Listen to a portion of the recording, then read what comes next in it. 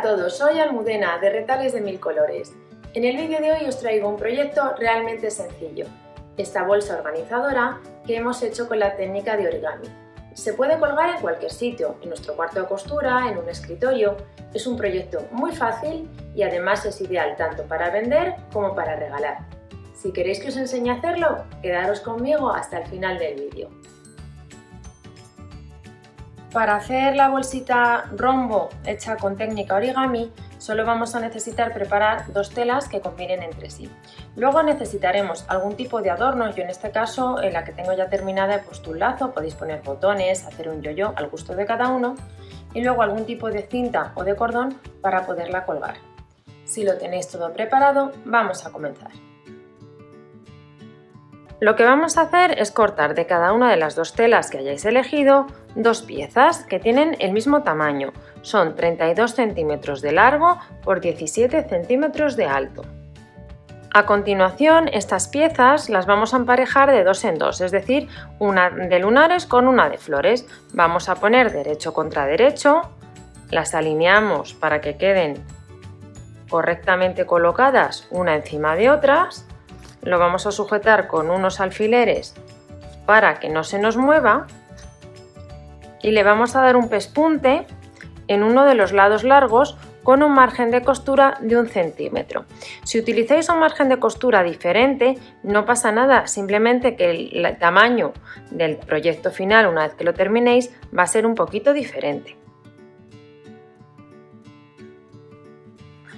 Cuando tengáis las piezas cosidas las vamos a planchar, vamos a abrir las costuras y eh, os enseño este paso porque mm, las tenemos que montar de manera diferente en cada una de las piezas. En este caso voy a montar la tela de lunares sobre la de flores y plancharía en este sentido. Y en la otra lo vamos a hacer exactamente al contrario. Vamos a montar la tela de flores sobre los lunares. Lo hacemos así para que ahora cuando las unamos todas nos sea mucho más sencillo hacerlo y además nos quede menos abultado. Entonces, en este caso estamos montando, como veis, al revés.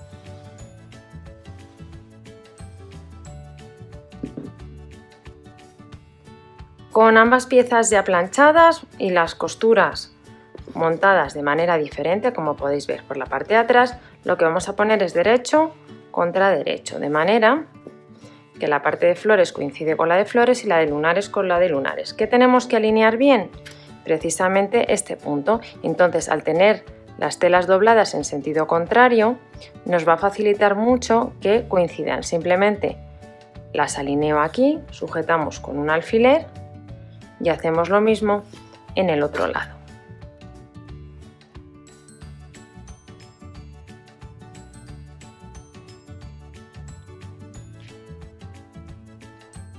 Con estos dos puntos ya sujetos, donde las telas están unidas, vamos a ir poniendo alfileres todo alrededor para que así cuando cosamos las piezas no se nos muevan. Cuando tengamos la pieza sujeta completamente y encarada correctamente, veis que los bordes coinciden en todas partes, lo que vamos a dar es un pespunte todo alrededor. En este pespunte vamos a dejar una parte sin coser. Yo me voy a hacer una marca aquí en la tela de flores de aproximadamente unos 7-8 centímetros que no voy a coser para luego poderlo voltear. Esta parte que dejéis sin coser no lo hagáis donde tenemos la unión de las telas porque luego nos va a quedar peor rematado. Es mucho más sencillo hacerlo en un lado en el que solo tengamos eh, tela de un tipo. Con la costura dada todo alrededor menos la apertura que hemos dejado aquí vamos a retirar por un lado los alfileres y por otro lado, como siempre que cosemos piezas que tienen esquinas, las vamos a recortar.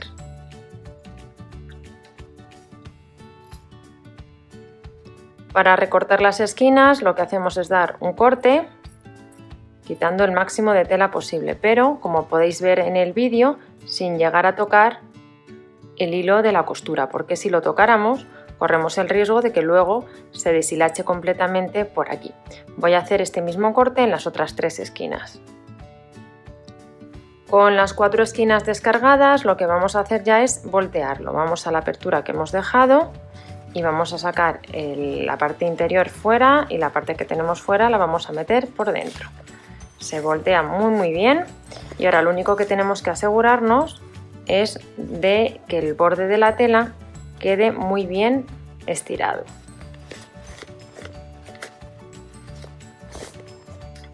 Como siempre que trabajamos con esquinas, con la ayuda de algún objeto punzante, como por ejemplo una pinza, vamos a sacar bien la tela para que nos quede muy muy bien rematado. El aspecto de la pieza que estamos preparando sería este. Como veis coinciden las costuras que hemos hecho con el cambio de tela en la parte de delante y la parte de detrás. Ahora lo que vamos a hacer es plancharlo para que quede bien estirado. Nos va a quedar un cuadrado de aproximadamente 30 centímetros por 30 centímetros. Dependerá un poco del ancho de la patilla que hayáis utilizado para el margen de costura. Si habéis puesto un centímetro, la pieza debería medir eso, aproximadamente 30 centímetros por 30 centímetros.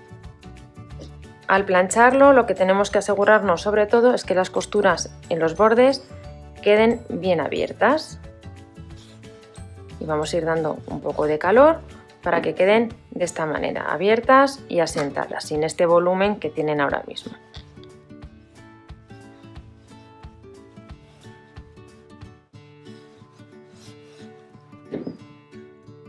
Este es el aspecto que tiene la pieza una vez que ya la hemos planchado. Ahora nos quedaría cerrar la apertura que hemos dejado aquí. Os doy dos opciones, o bien darle un pespunte muy pegadito al borde, toda la pieza alrededor, o bien cerrarlo a puntada escondida. Yo lo voy a cerrar a puntada escondida. He tomado un hilo en tono azul oscuro y simplemente vamos a irlo cerrando dando estas puntadas que quedan prácticamente invisibles. Metemos el nudo por dentro para que no se vea al comienzo y lo que vamos a hacer es, tengo el hilo que sale hacia mí, justo a la misma altura lo vuelvo a meter, avanzo por el interior de la tela de atrás y vuelvo a sacar la aguja. De esta manera la puntada queda prácticamente invisible. Lo vuelvo a hacer. Tengo el hilo que sale hacia mí, a la misma altura lo vuelvo a meter en la tela de atrás, avanzo por el interior de la tela y según saco la aguja en la tela de atrás, lo saco también en la tela de delante. Voy a cerrarlo y continuamos.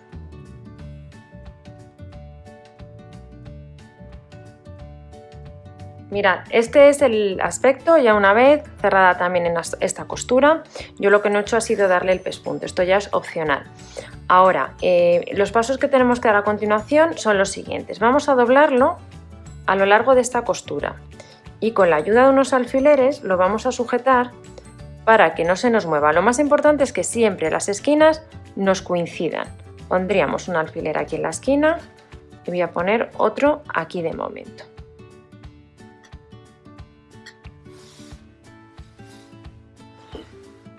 Cuando lo tengáis doblado así a la mitad, con las esquinas coincidiendo, lo vamos a doblar otra vez a la mitad.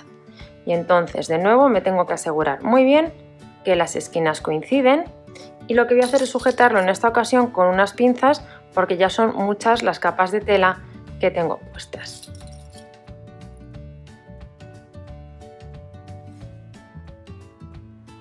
Con la pieza preparada como veis, lo que vamos a trazar es una recta desde donde tenemos las cuatro esquinas hasta este punto que sería el punto central de la pieza. Con la ayuda de la regla trazaríamos esta línea.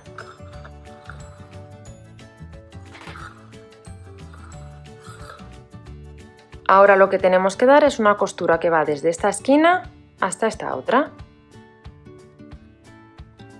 Con esta costura dada retiramos alfileres y pinzas. Y ahora lo que vamos a hacer es abrirlo y vais a ver de qué manera más sencilla hemos hecho un estupendo organizador.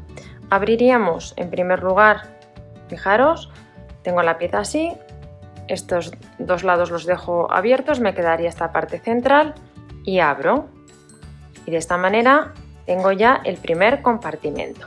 Lo que vamos a hacer es darle unas puntadas aquí y aquí para sujetarlo.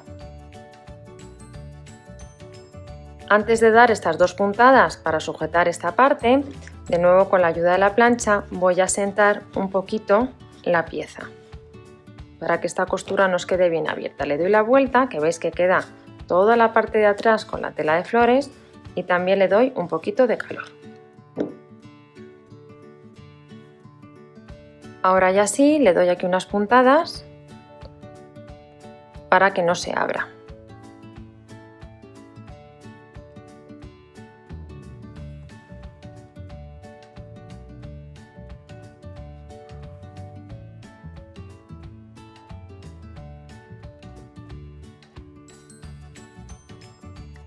También le voy a dar unas puntadas en este otro lado.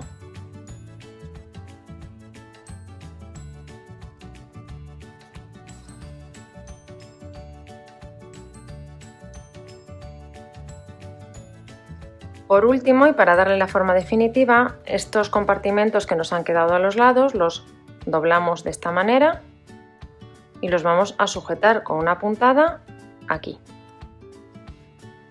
Entonces veis que además nos quedan como con dos colores porque es justo donde está el corte de la tela. Lo que voy a hacer es alinear esta tela con esta parte de aquí para que parezca que está como a continuación. Cuando lo tengo ya alineado, pues de nuevo simplemente damos aquí unas puntaditas para sujetarlo.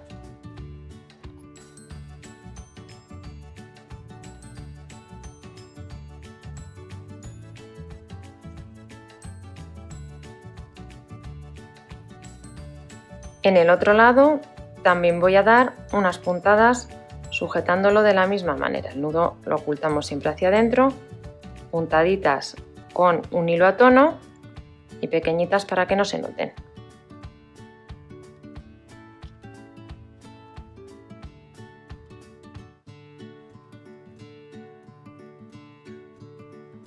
Ya lo tenemos prácticamente terminado, ahora simplemente le podemos poner algunos adornos. En primer lugar le voy a poner este lazo en tonos rosas, que creo que le va bien, pues en esta zona de aquí.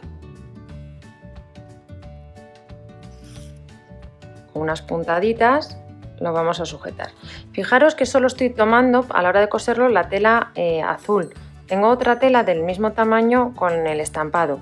No las coso a la vez porque en el fondo aquí esto me permite guardar cosas de manera separada.